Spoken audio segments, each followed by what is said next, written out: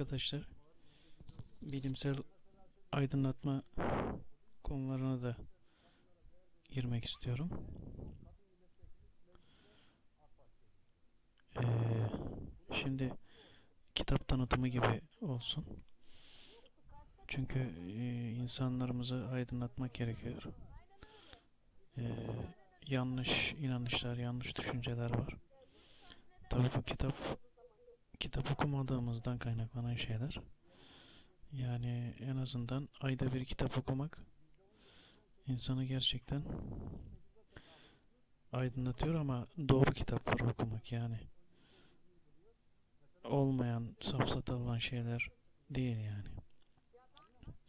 Şimdi e, inceleyeceğimiz kitaptan bir bölüm Antik Bilim ve Modern Uygarlık diye bir kitap.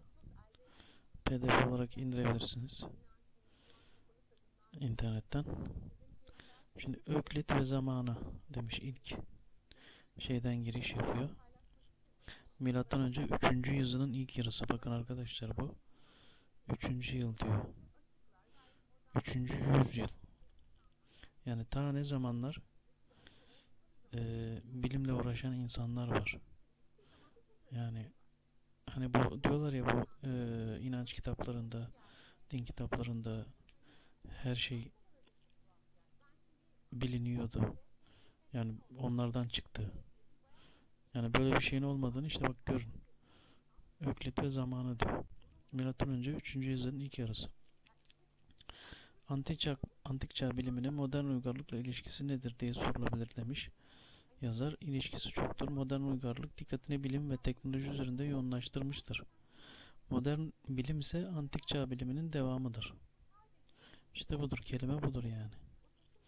Antik çağ bilimi olmasaydı var olmazdı diyor.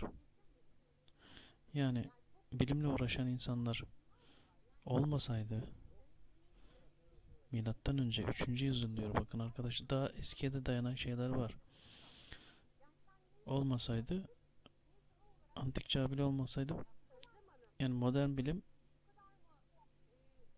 var olamazdı belki de diyor yani. Yani bazıları diyor ya yok e, bilmem İslam uygarlığında her şey ortaya çıktı, gelişti. Yok bilmem Hristiyan uygarlığında gelişti, Yahudi uygarlığında neyse. Yani öyle bir şey olmadığını bakın burada bu yazar apaçık anlatıyor yani. Yabancı bir yazar zaten. Büyük bilim adamlarından onların kişiliğini ve dehalarını açıklamadan ve içinde geliştikleri sosyal çevreyi tasvir etmeden söz etmek satmadır diyor.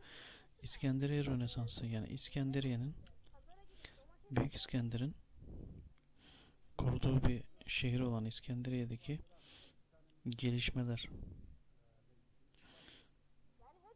yani bilime önem veren bir şehrin ne kadar gelişti. Burada bakın bu şekilde bir başlık atılmış yani. Rönesans, Avrupa'daki Rönesans çağına benzetilmiş.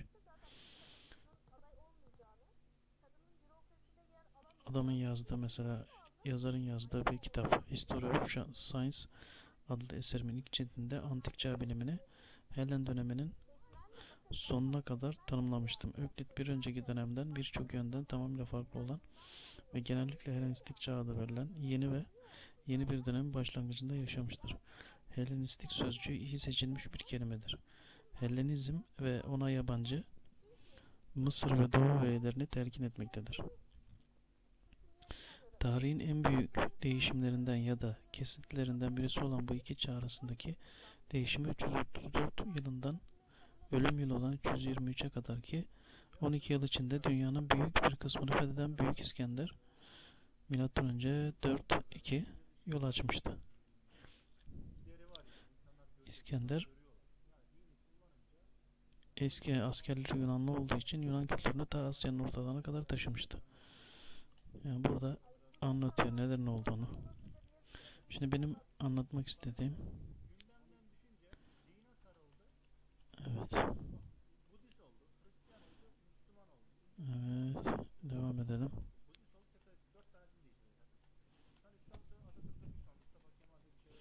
Evet. Şuradan İskenderiye Rönesansı demiş. Devam ediyoruz. Şimdi burada ne diyor? Matematik, astronomi, matematiksel ve coğrafya, an- anatomi ve fizyoloji konularında ortaya konan eserlerin çoğu analitik eder. Öklit'in elementleri hariç. Bakın neler araştırılmış o zamanlarda yani.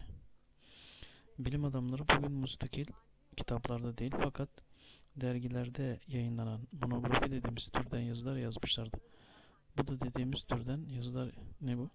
Bu da İskenderiye Rönesansı'nı tam bir Rönesans olduğu ge- gerçeğini hatırlatmaktadır. Bakın.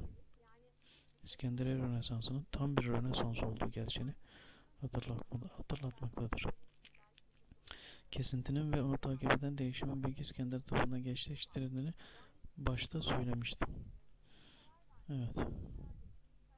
Bakın burada ne var? Aslında Aristo'nun Büyük İskender'in küçük olduğunu söylemek daha doğruymuş.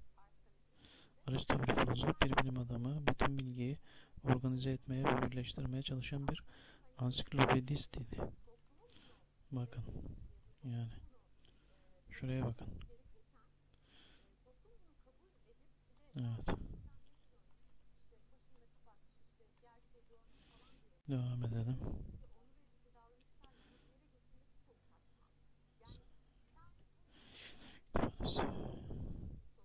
İskenderiye Kütüphanesi görüyor musun? Pek çok hadiseden zarar görmüştür. İnsanların yani cahillerin yani yobazların diyelim. Nasıl bilgiyi tahrip ettiklerini. Evet. Evet. Bak. Bakın astronomlar gökyüzünü gözlemlemişler ve yeryüzünü ölçmüşler. Anatomistler insan bedeni üzerinde diseksiyon yapmışlardı ancak tarihçilerin ve filologların başlıca materyali başka bir yerde değil kütüphanedeki kitaplarda bulunuyordu. Görüyor musunuz? Ne kadar değerli bir yer. O zamanlar. Şimdi de yani hala da öyle. Yani.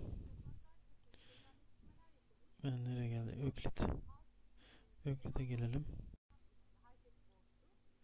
Epeydir Öklit'i bekletiyoruz. Şimdi onun döneminin vakti geldi. Ancak onun zamanın en hayret verici filolojik başarısından Septuagint'ten yani eski ayetin Yunanca tercümesinden birkaç kelimeyle söz etmemiz gerekir. Buraya geç abicim bizi ilgilendirmez zaten. Yararlı bir şey yok yani çevirdiği şeyin içinde de. Yararlı olarak yani iyiliğe teşvik etme kelimelerinden başka yararlı bir durum yok yani. Öklit ve nihayet Öklit'i inceleyelim. Onun çevresini, etrafındaki insanları ve olup bitenleri çok sarih biçimde hayalimizde canlandırabiliriz. Ancak kendisi kimdi? Ne yazık ki onun hakkındaki bilgimiz çok sınırlıdır. Bu istisnai bir durum değildir. İnsanoğlu tiranları, başarılı politikacıları, zengin kimseleri hatırlar. Ancak gerçek veli nimetlerini unutur. Shakespeare hakkında neler biliyoruz? Öklit, Öklit hakkında bildiğimiz her şeyi size anlatacağım ve bu çok uzun olmayacak demiş yazar. Doğum ve ölüm yerleri ve tarihleri bilin, bilinmemektedir. Muhtemelen Atina'da eğitim görmüştür ve eğer öyleyse matematik eğitimini akademide almıştır. Görüyor musunuz? O zamanlar eğitim alan insanlar var.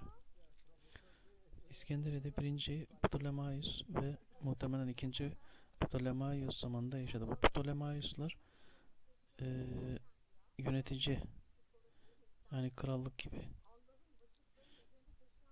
arda arda gelen yöneticiler zamanında yaşadı. Kişini göstermek için iki anekdot anlatılır. Kral birinci Ptolemaios'un ona geometriyi öğrenmek için elementlerden daha kısa bir yol olup olmadığını sordu. Onun da kralı için özel bir geometri öğrenme yolunun bulunmadığı cevabını verdiği anlatılır.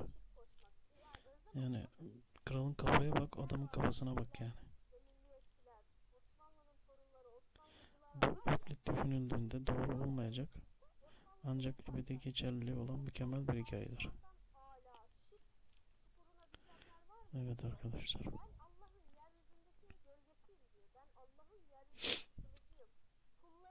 Matematik hat- anlatır gönül dinlemez. Diğer anekdot da aynı derecede güzeldir. Öklit ile geometri okumaya başlayan birisi ilk teoremi öğrendiği zaman bunları öğrenerek ne kazandı, ne kazanacağım diye sormuş. De uşağını çağırıp buna bir sikke ver çünkü öğrendiklerinden kazanç elde etmeyi düşünüyor demiş. Öğrendiklerinden. Ya o zamandaki adamın aklını görüyor musunuz? Ne kadar yani yüksek bir aklı var yani. Düşündüğü iyiliğin, güzelliğin çeşidini anlayabiliyor musunuz? Öklit de uşağını çağırarak buna bir sikke ver. Çünkü öğrendiklerinden kazanç elde etmeyi düşünüyor demiş. Yani Öklit'in ne kadar yani büyük kalpli bir insan olduğunu düşünün yani. Bilimle, araştırmayla ilgilenen insanın ne kadar derin kalpli, düşünceli bir insan olduğu anlaşılıyor burada. Her iki anekdot da oldukça geç tarihlerde ilkin Proklos tarafından ikinci olarak Stobaios tarafından kaydedilmiştir. Her ikisi de 5. yüzyılın ikinci yarısında yaşamışlardır. Bu anekdotlar yeterince inandırıcıdır ve bu tür sade gelenekler unutulmaz. Evet arkadaşlar burada bitiriyorum. Sonra devam ederiz. Esenlikler. Sen